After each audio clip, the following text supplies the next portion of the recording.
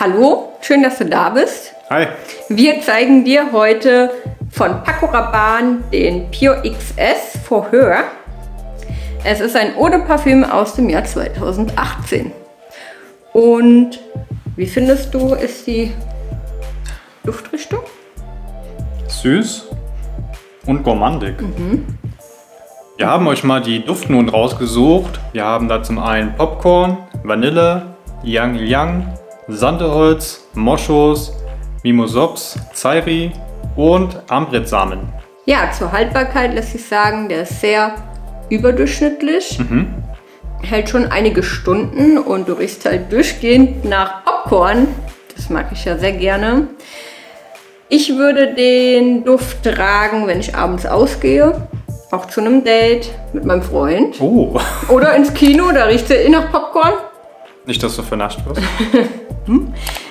Und generell ist ja Paco Rabanne auch eher so ein ähm, ja, Parfümhersteller, den auch gerne jüngere Leute tragen. Und da kann ich das auch auf jeden Fall für empfehlen.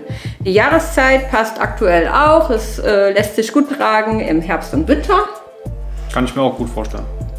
Ja, und kommen wir zur Bewertung. Komplimente habe ich ja dafür noch keine, außer von dir Du bekommen. hast ihn noch nicht so oft getragen. Das stimmt, das war ja auch noch nicht so kalt.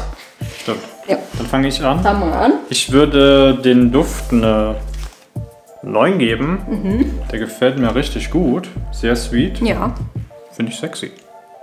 Ich gebe dem Duft ebenfalls einen 9. Warum? Ich vergleiche die Düfte ja immer mit meinem absoluten Lieblingsparfüm von dem Label äh, von Jean-Paul Gaultier und da ist die Haltbarkeit einen Ticken länger und darum gibt es von mir eine 9. Cool.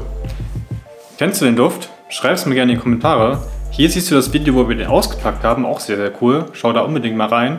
Bis dahin, mach's gut. Ciao. Tschüssi!